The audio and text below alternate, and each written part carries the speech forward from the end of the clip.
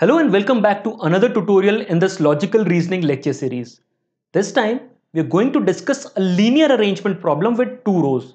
These problems generally would have two directions mentioned, mostly north and south, with people facing different directions, and we would need to figure out the orientation of objects accordingly. You need to be very careful with these directions given in the question, as otherwise you may draw an incorrect configuration in most cases. So let's go to the question now and see how these problems are tackled without making a mess of them. The question here mentions 8 girls who are standing in two rows of 4 girls each.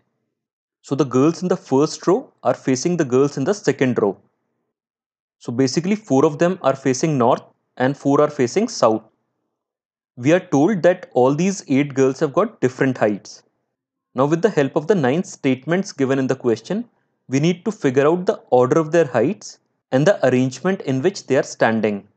I'll advise you to pause the video here, attempt the question yourself and start the video again once you are done.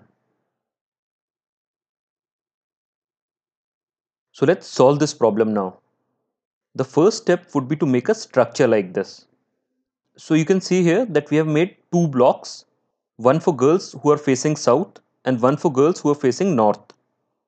North is taken as the upward direction. The girls who will occupy positions 5, 6, 7 and 8 would face upward that is in the north direction.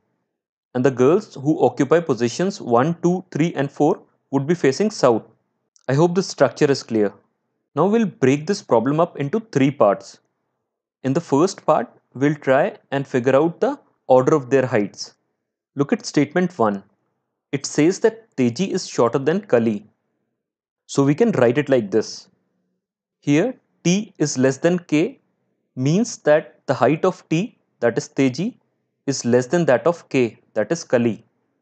So we will use just the letters here. So Teji becomes T and Kali becomes K. Let's move forward. Look at statement 5 now. It says that Dia is taller than Fiza but shorter than Teji. Now Teji is already there in the picture. It says that Dia and Fiza both are shorter than Teji and Fiza is shorter than Dia. So if we have to put it here, we will put it like this. Let's move forward and look at statement 3 now. It says that Avni is shorter than Gati and is facing south.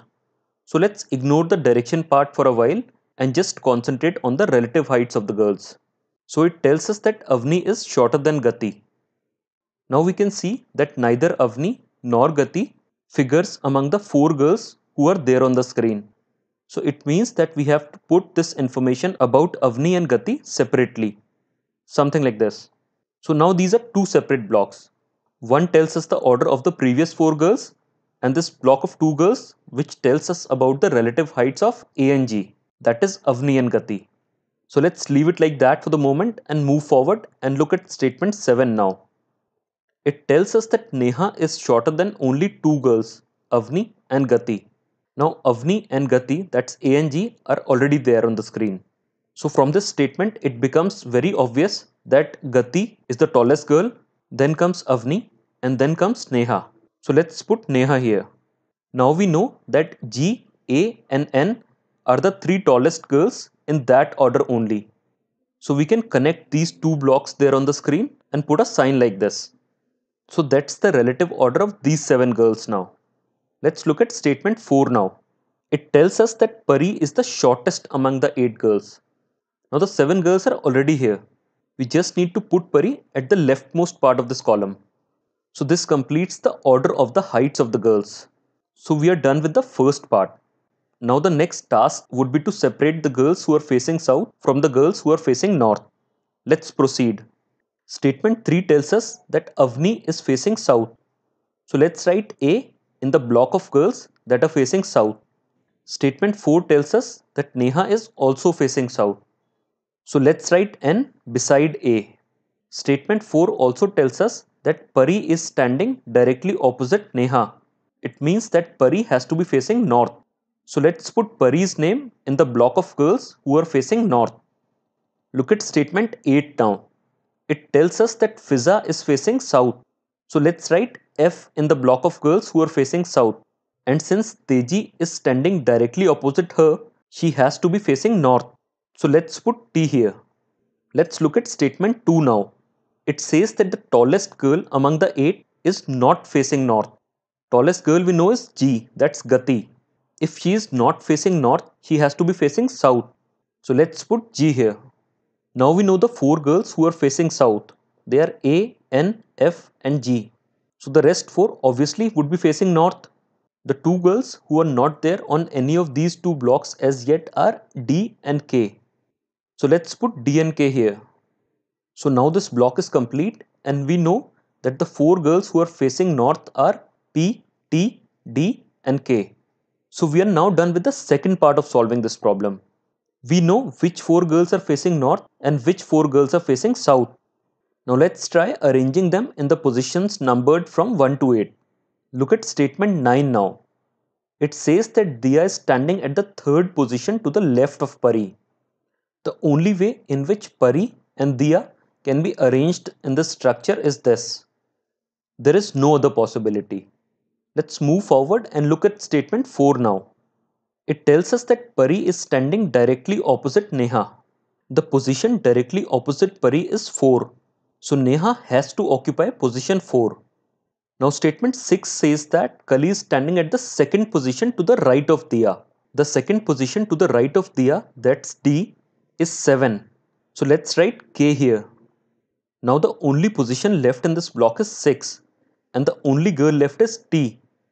So it's obvious that T has to occupy position 6. Let's go to statement 8 now. It tells us that Teji is standing directly opposite Fiza. The position directly opposite Teji is 2. So Fiza has to occupy this position. Now let's look at statement 2 that tells us that the tallest girl among the 8 is not standing at any of the ends. The tallest girl here is G, that's Gati. If she is not standing at any of the ends of the row, then she cannot be at position 1. So if we look at this column, the only position left for G is 3. So let's put her here. Now the only position left in this column is 1 and the only girl left is Avni, that's A. So it's obvious that Avni has to occupy position 1. So let's put her here. And with this step, we have completed the solution to the problem. So that's the way to solve linear arrangement problems with multiple rows. If the problem contains some other conditions as well, as the relative heights of people were given in this question, you should break the process of finding the solution in several parts and concentrate on one part first without bothering about others. Once you're done with it, go to the next level of the solution by taking up another part. This approach makes it much easier by simplifying the solution and thereby reducing the chance of any confusion while solving the problem. In the next tutorial, I would discuss a problem based on different floors of a multi-storied building. Again, a very popular setup for logical reasoning puzzles. Goodbye and take care.